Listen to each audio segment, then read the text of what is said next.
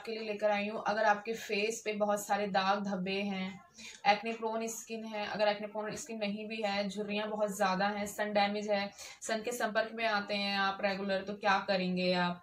और दूसरी बात ये है कि पॉल्यूशन वाली जो स्किन है, एकदम पॉल्यूट स्किन है, अगर आपको समझ में आती है ब्लैक हेड्स बहुत ज़्यादा हैं तो मैं बताती हूँ आप क्या करेंगे। एक मैंने डी आई वाई क्रिएट करा है, आप वो करिए, ठीक है? और मैं आपको बताती हूँ कि इसके लिए कौन कौन सी चीज़ें मार्केट में उपलब्ध हैं और कितने की उपलब्ध है, मैं ये आपको बताऊँगी, ठीक है? तो फ्रेंड्स चलिए मेरी वीडियो आगे तक देखिए। बी एच ए वाले जो सिरम्स हैं आप आ, अपने जो फेस पे बहुत ब्लैकनेस ज़्यादा है बहुत सनबर्न है स्किन पे और एक्ने प्रॉब्लम है होठ के आगे पीछे बहुत काला है झुर्रियाँ पड़ी हुई हैं आइस पफिनेस है बहुत सारी प्रॉब्लम्स हैं फेस पर। तो आप ए एच ए और बी एच ए का प्रयोग करिए देखिए ये वाले सिरम्स मार्केट में अवेलेबल हैं और प्राइस चेक करिए।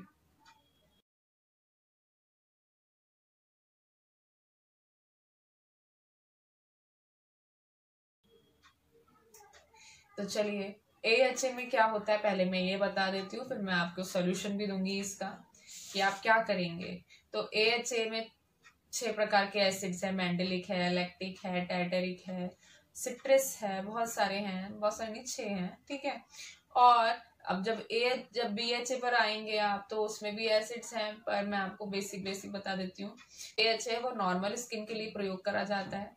जो बी एच ए है, वो आप ऑयली स्किन के लिए ही प्रयोग करा जाता है। और जब दोनों को प्रयोग करा जाता है मिलाकर तो आपको फेस एकदम बहुत अच्छा देखने को मिलेगा। फेस एकदम चेंज मिलेगा आपको। ठीक है? तो मैं आपको बताती हूँ कि ये लोग क्या क्या काम करते हैं। ये रिंकल्स हटाते हैं और आपके अगर फेस पे ब्लैक हेड्स है वाइट हेड्स है, वो हटाता है। और आपकी स्किन अगर पोल्यूट है, उसको कम करता है। और इसके जो मार्केट में जो सिरम्स है एंटी एजिंग क्रीम्स है, वो बहुत महँगी हैं। तो मैंने इसके लिए एक डीआईवाई क्रिएट करा है, देखिए आप इसको। शुगर केन यानी कि ए एच और शुगर यानी कि बी एच ए मेरा फेस आप पहले देखिए और फिर बाद में देखिए। अगर आप रेगुलर करने लग जाएँगे तो यानी कि क्या होगा?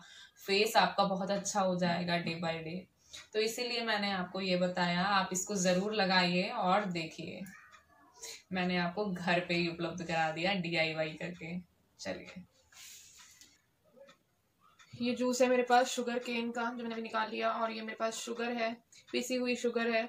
आप इसकी जगह पे जैगरी भी ले सकते हैं, गुड़ भी ले सकते हैं।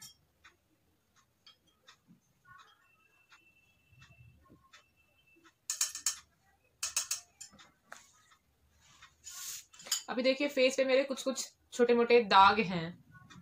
ठीक है? मैं इसको लगाकर आपको दिखाऊँगी।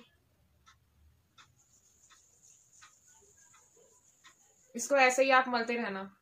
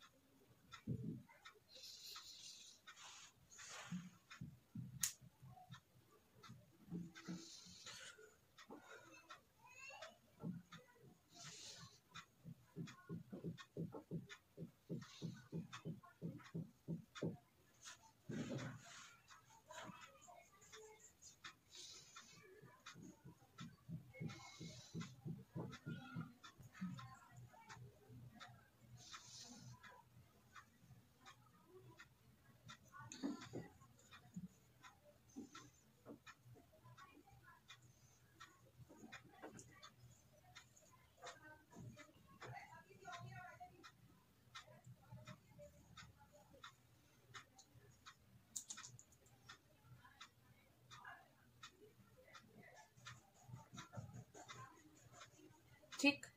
इसको मैंने अभी लगा लिया है, अब मैं इसको रखूँगी करीबन पंद्रह मिनट तक रखूँगी।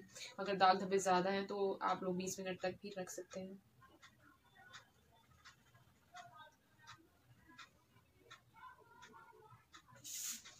पहले भी मैंने एक वीडियो बनाई है ग्लाइकोलिक एसिड पे। प्लीज़ उसको विज़िट करना ना भूलें, आपको अच्छे से समझ में आएगा फिर।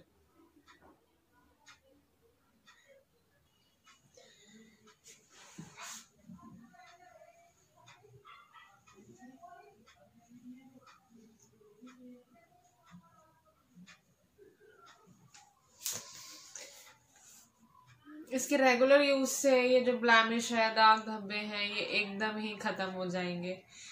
तो जितना आप ऑर्गेनिक चीज़ों का यूज़ करेंगे, जितना आप हर्बल चीज़ों का यूज़ करेंगे, जितना आप रियल चीज़ों का यूज़ करेंगे, उतना ही अच्छा रहेगा आपकी स्किन के लिए।